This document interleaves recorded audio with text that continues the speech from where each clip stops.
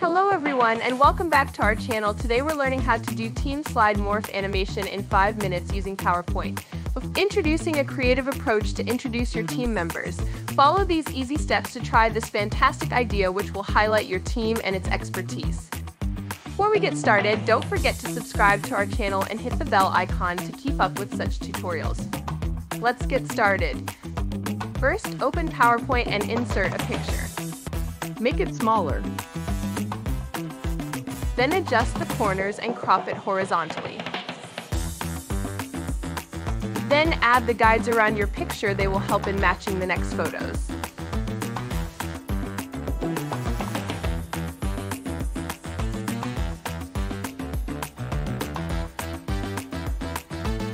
Add other picture and change the size of it.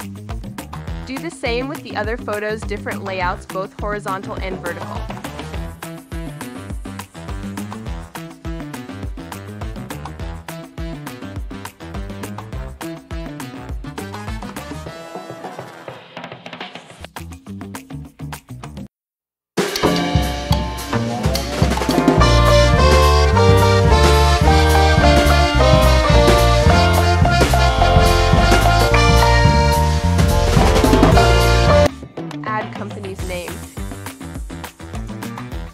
Then the employee's name. Make it bolder and visible by changing the font and font size. Change the color of the font size by color coordinating it with the employee's photo. Add job description.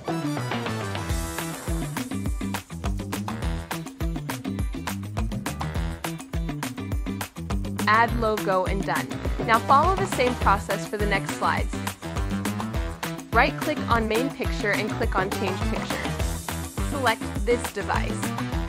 And then Change Photo. Change these photos clockwise. This brings the photos one after the other in accordance with the movement of the clock hands.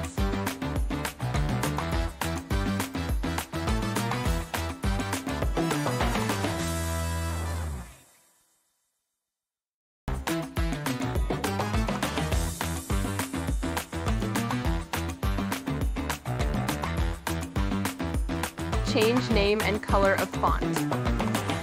Color coordinate it with the photo. Add job description. Our slide already looks good. Apply the same steps for the rest of the slides. Remember to change the arrangement of the photos.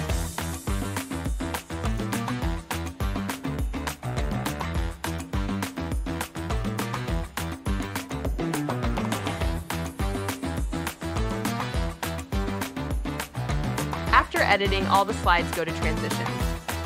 And select Morph Animation. Then apply to all the slides. And done.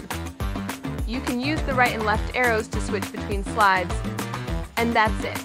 With these steps, create captivating presentations, craft informative, inspiring slides, make an impression. Don't forget to check out SlideUpLift for an incredible selection of templates.